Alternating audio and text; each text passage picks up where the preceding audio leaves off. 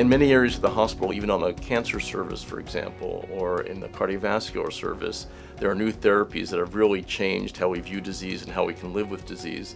But in neurology, and again, especially acute brain injury, there are very few effective therapies. That is, if you were to round on the neurology service, you'd see patients who are often physically devastated, emotionally devastated with really life-threatening diseases or progressive diseases for which there are no effective therapies. That's particularly true in acute brain injury. I think it would surprise many people to know that after an acute brain injury or after um, a large stroke, for example, there are no neuroprotective drugs currently available to improve functional outcomes.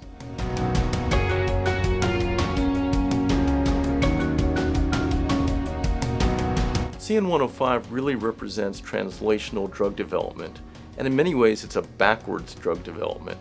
So traditionally, from a very basic science laboratory, one might look at a very specific cellular mechanism to see if you can influence that and influence disease. Unfortunately, that often doesn't translate into clinical efficacy for a variety of reasons. There's a lot of redundant mechanisms in biology, so even if you tweak one specific pathway, you may not actually affect a better outcome.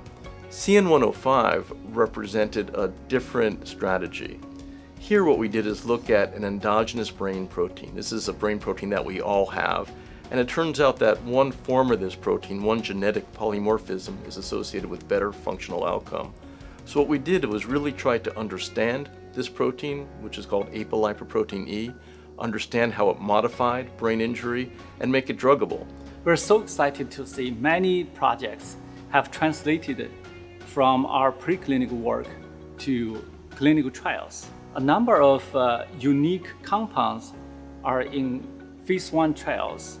Several of them have moved to phase two clinical trials. One of the most exciting aspects of this is that many of these represent the first-in-class therapies to these uh, neurological disorders such as subarachnoid hemorrhage, trauma, and uh, intracranial hemorrhage, for which no effective therapies currently exist. So what is it about differences in our genetic makeup that determine the extent of an injury, a brain injury, or how we recover a brain injury. Why is it that a patient who presents in the intensive care unit with one type of injury that looks very similar to the patient in the room next to them, yet patient one has a very bad outcome, and patient two, although the injury looks similar, um, has a good prognosis? Uh, we believe that that is due in part to differences in their genetic makeup. One of the big issues with a brain injury is, um, is inflammation.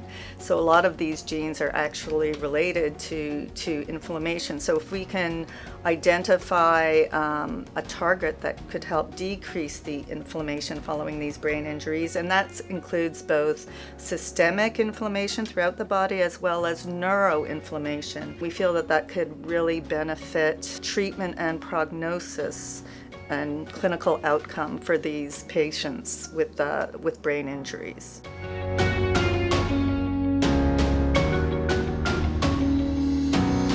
So uh, my lab is specifically interested in brain monitoring and how the brain uh, is affected by injury and what physiologic impact that has. When you have a heart attack, uh, we bring you into the heart ICU and we hook you up to the heart monitor and monitor your heart and blood pressure very carefully.